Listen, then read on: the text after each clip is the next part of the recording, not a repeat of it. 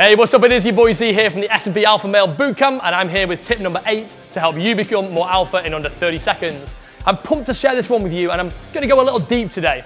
Think about this. You become your environment, so take a look around, especially at the five people around you that you spend the most time with.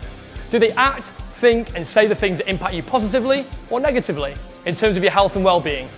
If the answer is no, then you need to seriously think about that because success breeds success. So get yourself in a group of like-minded, supportive people who will nurture your health and you'll be way more alpha before you know it. Coming at you with another video very soon. Take care. Peace.